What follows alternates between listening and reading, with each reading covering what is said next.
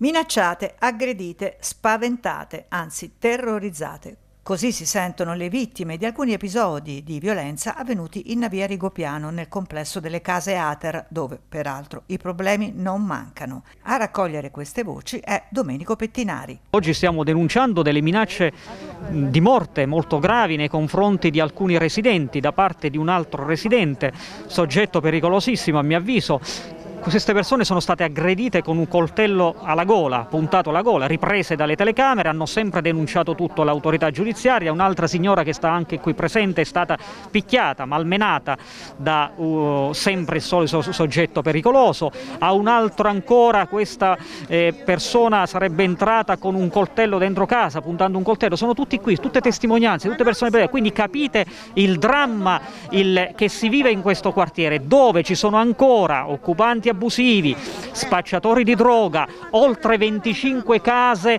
eh, vuote lasciate in abbandono che potrebbero essere assegnate agli oltre 700 cittadini che stanno aspettando in graduatoria una casa popolare. Quelle case vuote qui devono essere subito assegnate. Assegnare brava gente, a gente onesta, significherebbe risollevare ri, e, e, il tessuto sociale di questo posto. E poi attenzione, dopo tante battaglie siamo riusciti a fare mettere un provvedimento di decadenza nei confronti di un latitante che era assegnatario di una casa popolare, ma questo provvedimento non viene ancora eseguito, quindi sta ancora disponibilità, nella disponibilità di questa persona.